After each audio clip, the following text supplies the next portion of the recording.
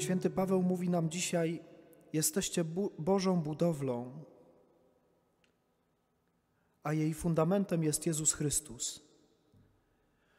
To ważne, żeby to zrozumieć, że fundamentem tego kościoła jest Jezus. Nie ty, nie ja, Jezus. I chwała Bogu, że tym fundamentem kościoła nie jesteś ty, ani nie jestem ja. Bo każdy z nas zdaje sobie sprawę ze własnych słabości i patrząc na siebie wiemy, że żaden z nas fundament nie jesteśmy fundamentem Kościoła, jest nim Jezus. Dlatego nie możemy zachowywać się, jakbyśmy byli fundamentem. Pozwólcie, kochani, że w tę dzisiejszą rocznicę poświęcenia naszego Kościoła rozszerzę nieco patrzenie na, na, na Kościół. Wyjdziemy trochę z tego Kościoła i popatrzymy, jaki jest Kościół w Polsce, którego jesteśmy również częścią.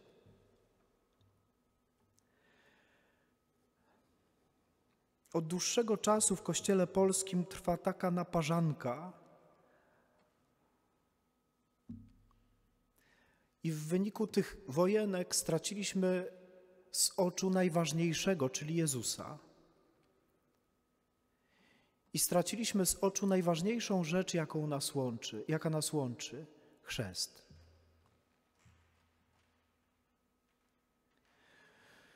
Wielu ludzi, wielu katolików w Polsce zaczęło segregować ludzi, tak jak się segreguje śmieci do worków. I stoją teraz takie posegregowane te worki. W tym worku są czytelnicy naszego dziennika, w tym worku są czytelnicy Gazety Wyborczej, w tym worku są czytelnicy Pani Domu. Ten worek ogląda wiadomości, tamten worek ogląda fakty. I każdy worek krzyczy: Tylko my jesteśmy Kościołem. Jeśli nie myślisz tak jak my, jeśli nie czujesz tak jak my, jeśli nie wierzysz po mojemu, to wynocha.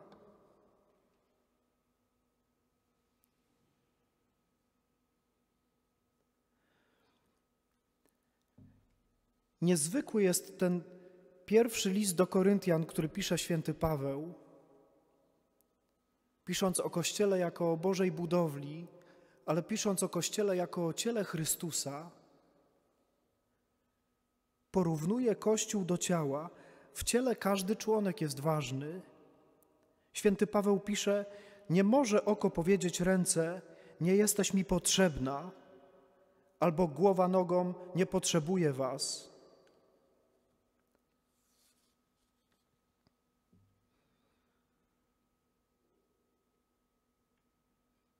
A są ludzie w Polsce, którzy w, zas w zaślepieniu samym sobą idą jeszcze dalej. Są jak oko, które mówi rękom: Musicie przestać być rękami, musicie stać się okiem.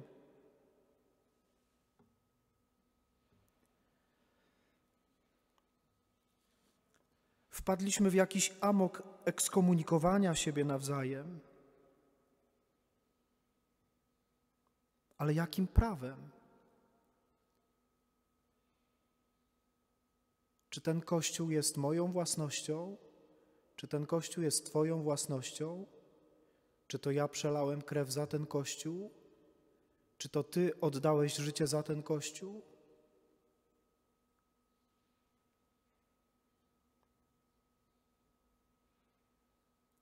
Nie jesteśmy Jezusem.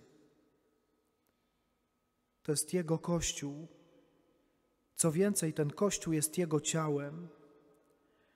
Popatrzcie, kochani, wiele razy w historii ludzie brali siekierę i rąbali to ciało Chrystusa na kawałki.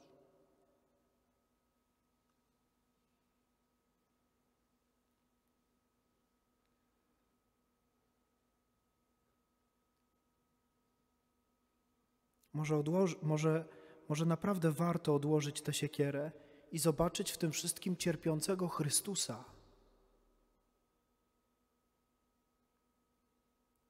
Rozczłonkowanego Chrystusa.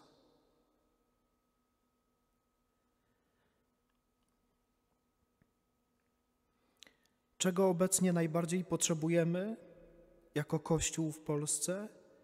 Jedności w całej różnorodności.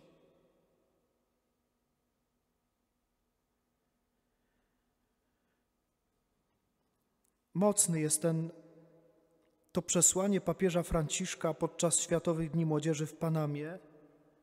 Ojciec Święty powiedział: Diabeł, który jest ojcem kłamstwa, zawsze bardziej woli lud podzielony i kłótliwy.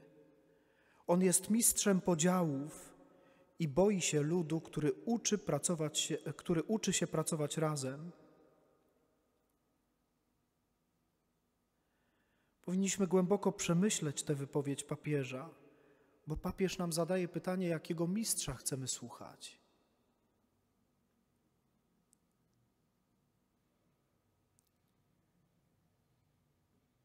Jeśli chcemy słuchać mistrza podziałów, to trzeba sobie jasno powiedzieć, że w określeniu kraj katolicki słowo katolicki, czyli powszechny, trzeba już ubierać w cudzysłów.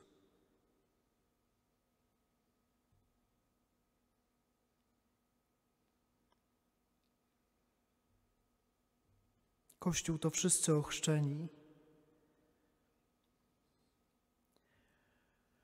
Łączyć ma nas Jezus i Jego Ewangelia, a nie moje widzimy się. Nie moje zasady. Zresztą zachowujemy się tak, jakbyśmy nigdy zasad żadnych nie przekroczyli. Jezus jest fundamentem tego kościoła.